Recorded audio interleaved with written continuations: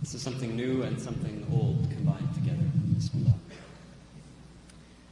They say, oh poor girl, you're so beautiful, you know. It's a shame that you cover up your beauty so. She just smiles and graciously responds reassuringly. This beauty that I have is just one simple part of me. This body that I have, no stranger has a right to see. These long clothes, this shawl I wear, ensure my modesty. Faith is more essential than fashion. Wouldn't you agree? This hijab,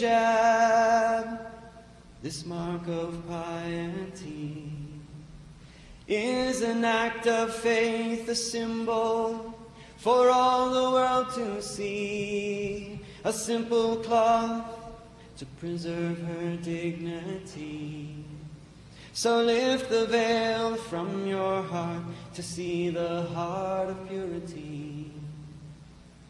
They tell her, girl, don't you know this is the West and you are free? You don't need to be oppressed, ashamed of your femininity.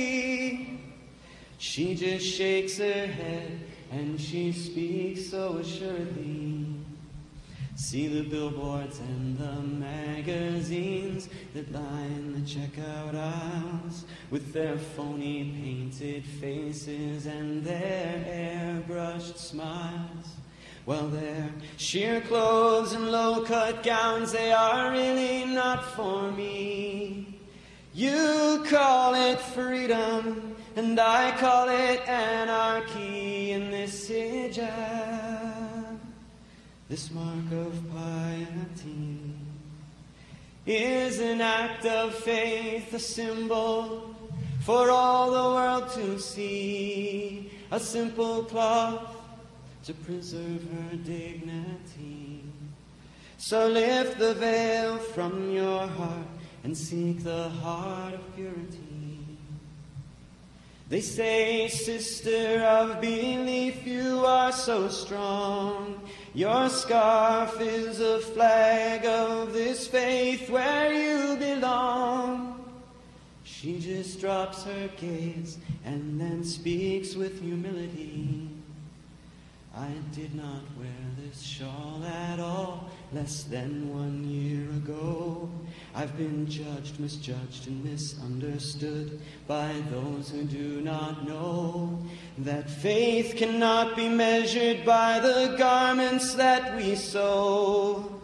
Beauty and faith objects reduced to a fashion show, and this hijab, this mark of piety is an act of faith, a symbol between my God and me, a simple cloth to preserve her dignity. So lift the veil from your heart and see the heart of purity. Lift the veil from your heart and seek the heart of purity. Lift the veil from your heart and seek the heart of purity.